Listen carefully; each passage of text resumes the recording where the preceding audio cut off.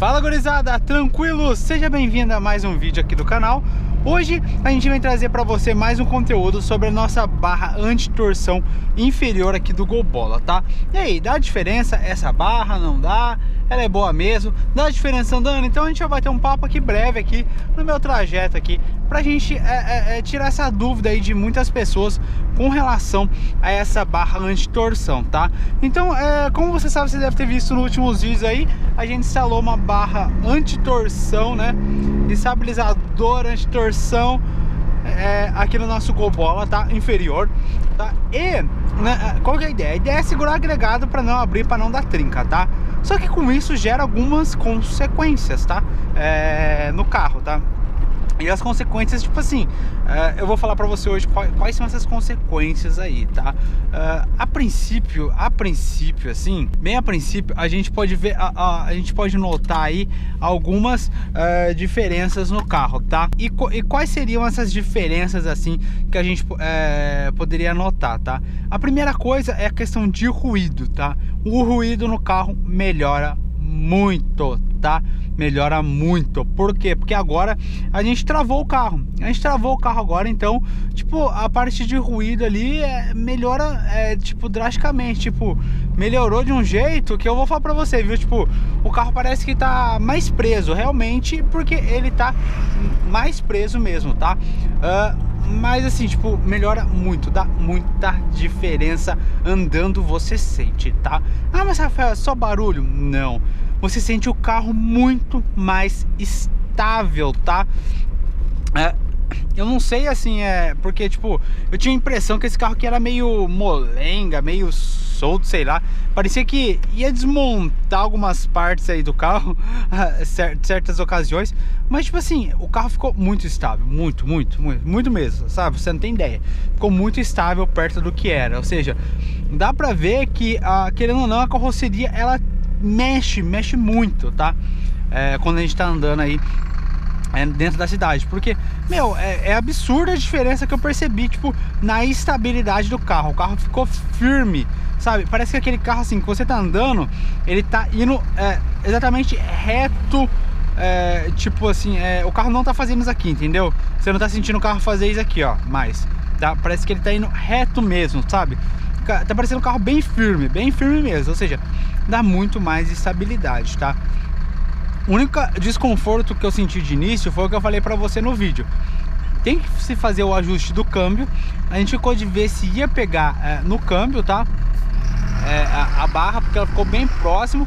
E dá pra ver que em certas ocasiões aqui, é, a, o câmbio dá uma pegadinha na barra, tá?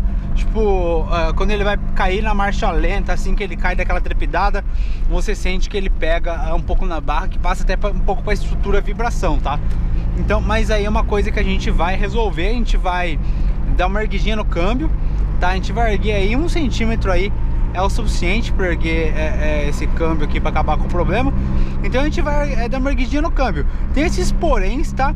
Mas você sente tipo assim, o carro firme. Alguns barulhos você vai ouvir aqui dentro do carro quando estiver passando aqui, mas são barulhos de... É, eu tenho coisa que é, no carro que estão meio tipo solta, tipo, eu tenho uma trava aqui que ela fica solta, ela faz barulho, tá? Então, tipo, é, fora isso, ó, você tá vendo que perto do que era quando passava nesses trechos, que geralmente eu sempre faço o mesmo trajeto. O carro ele fazia, ia fazendo aqueles barulhos. E tipo, diminuiu muito, sabe? Diminuiu muito.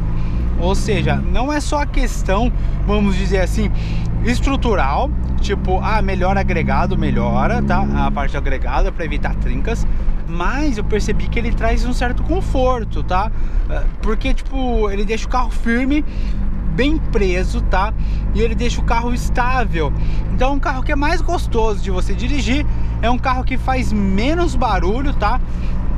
Então um carro que é mais gostoso, ele é mais estável e faz menos barulho, com certeza é um carro muito mais confortável para se dirigir, tá? Então, é, tipo assim, eu já vi inúmeras vantagens aí com alguns dias de uso. Alguns dias de uso aí desse, é, desse é, dessa barra aí é, anti-torção inferior, eu já vi muita diferença, tá? Tem muita diferença aí é, nessa barra anti-torção quando a gente coloca ela dá muito diferença aqui pro carro. E as diferenças são boas, igual eu falei. Tem essas questões aí de essa questão de pegar no câmbio, tem a questão de pegar no câmbio, mas também tem a questão de que tem benefício, não é só tipo assim, é, ah, eu vi um, um, problema nisso. Isso aí é questão de ajuste. Isso aí dá pra gente dar uma levantadinha no câmbio, dá pra gente dar uma ajustadinha nessa questão da barra. A gente viu, mas achou que não ia pegar, mas é uma coisa que dá ainda pra gente é, consertar. Não é um defeito que você vai falar assim, ah, não tem jeito, é um defeito que vai ficar, tá?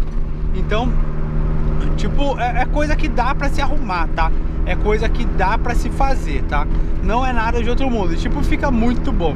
Eu deveria ter colocado isso aqui bem antes no carro, tá? Deveria ter colocado isso aqui bem antes, porque faz muita diferença, meu guri, faz muita diferença mesmo. Igual eu disse, não só por questão de segurar a parte estrutural do carro, mas sim também por conta ali da, da nossa nosso conforto. O carro ficou muito mais estável. Então, vale muito a pena. Eu acho que foi um dos melhores investimentos que eu fiz assim pro carro, tá? Tem várias coisas que a gente fez aqui, mas acho que foi um dos melhores investimentos que eu fiz, porque o carro ficou muito bom, tá? Bem estável. Agora a gente precisa fazer a barra superior que eu vou estar tá fazendo, essa aí eu vou estar tá instalando em casa, tá? Eu não preciso erguer, não precisa nada, então eu vou estar tá instalando em casa aí é, é, para você acompanhar, tá? Mas é muito bom, vale muito a pena, tá? Se você pretende aí é, colocar uma barra aí é, anti-torção no teu carro aí, tá, tá pensando em colocar uma barra de torção, eu falo pra você, pode colocar que vale muito a pena aí colocar uma barra inferior no teu Golbola. Além, é, do, igual eu disse, ser muito útil, ser tipo assim, quase essencial, praticamente essencial para esses carros aqui, dá muita diferença, tá? Então para você que queria saber se compensa colocar a barra de torção inferior, esse vídeo aqui é para você, que compensa muito, vale muito a pena, 150 reais é que eu paguei na barra, mas sem a instalação, 250 reais mais bem investidos que eu já é, é, é, fiz aqui de investimento para esse carro, beleza? Então, se você quer muito mais dica de Gol geração 2, muito mais dica iguais aqui que eu vou trazer para você, exclusiva, clica aqui na bolinha do lado ou clica no botãozinho aqui em inscrever-se e se inscreve no canal que eu vou trazer muito conteúdo de Gol geração 2, igual esse aqui, muito conteúdo bacana aí tá vindo, tenho certeza que você vai gostar e tenho certeza que vai te ajudar, então se inscreve para você não perder esse conteúdo, beleza? Então esse é o vídeo de hoje, vou te encontrar lá no próximo vídeo então, tá? Até o próximo vídeo, falou e fui!